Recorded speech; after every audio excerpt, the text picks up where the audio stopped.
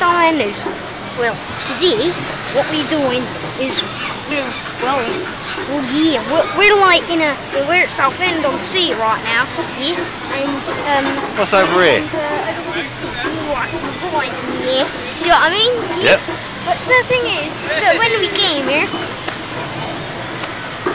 somebody crashed a bloody plane! Oh, God. Don't read, don't read news, over.